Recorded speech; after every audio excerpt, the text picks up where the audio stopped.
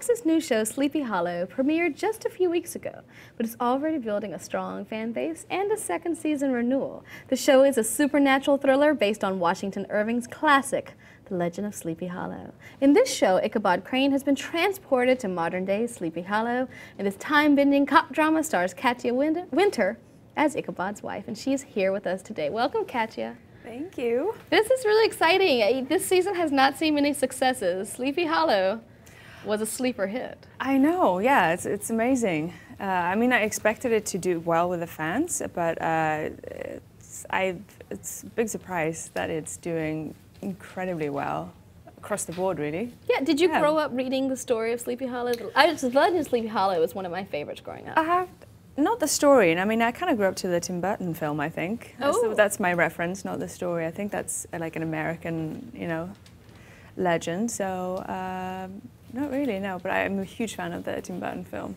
So it's got everything. It's got time travel, it's got the supernatural. When you were reading the script, could you even get your head around it the first couple of times? I, yeah, I was really, really intrigued by the script, actually. I didn't, I didn't know what they were going to do with it because, you know, it, it, so many things were happening. Um, but Alex and Bob, you know, they, they're used to creating these big, enormous productions. So I, yeah, I was excited. And but I had no idea I was going to turn out. oh, I am sure. Headless horseman running around and, you know, all these mythological creatures and, you know, me being a witch and, and stuck in another world. It's, uh, yeah, they did a great job, fantastic job. And you can only communicate with your husband in a very unusual way. Mm -hmm. uh, through his dreams, um, because I am in this purgatory land. Um, Katrina has kind of a slow start in, in season one. Um, you'll get to know her more. I think starting from next week, there are going to be a lot more flashbacks.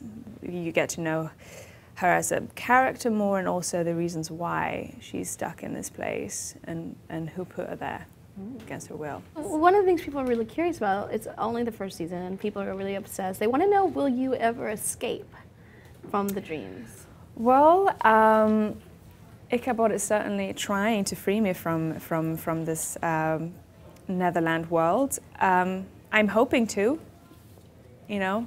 I'll be interested to see Katrina Crane in um, a pair of jeans and a t-shirt. What have you learned about witches in, in, studying for your role and figuring out where you land as a witch on the show? Um, what I like about it is, just, you know, anything that has to do with a powerful woman, I like. So um, we haven't really seen her do much magic yet, but you know, uh, there's endless of possibilities with witches. You know, there's so many great stories, and uh, you know, obviously I have a coven, and it's other witches working with me, and I think you bumped into one of them, not a friend of mine, but in episode two.